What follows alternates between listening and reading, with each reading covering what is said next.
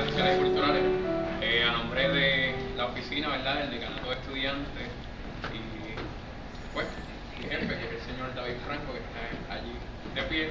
Le damos las gracias por haber venido. Eh, muchachos vencieron eh, un problema técnico que tenemos en el teatro, ellos lo vencieron y están aquí, hicieron la obra, estuvieron ensayando fuertemente y pues yo quiero que le den un aplauso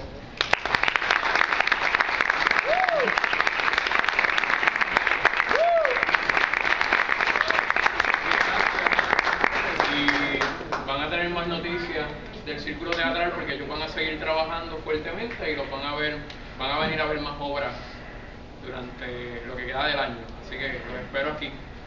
Gracias a todos.